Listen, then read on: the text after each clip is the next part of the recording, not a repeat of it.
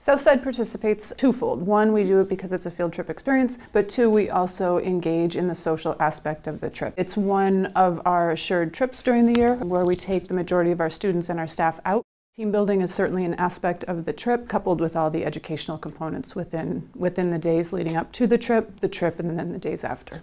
We can make connections for our students to local teams and kind of breed that Manchester pride, that Monarchs pride, that's a win. We hone in on Spartan pride at school, and then how do we take that and represent that at the games? We've been lucky to have our chorus present for a number of years, so we get to go in and have that moment of showcasing who we are and what we're about in that bigger venue and giving our kids that opportunity to be part of that Monarch experience is pretty cool.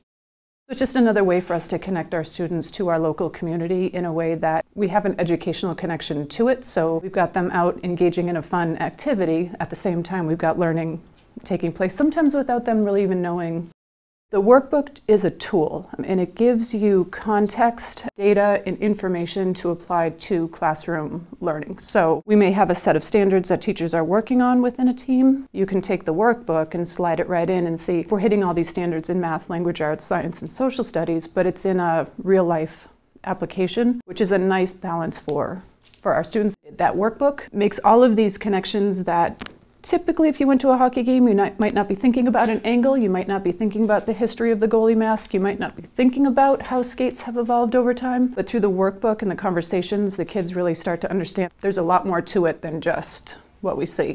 It's navigating the vendors, it's navigating on and off the buses, it's getting into the building, it's interacting with the personnel at the, at the arena who are helping us find our seats.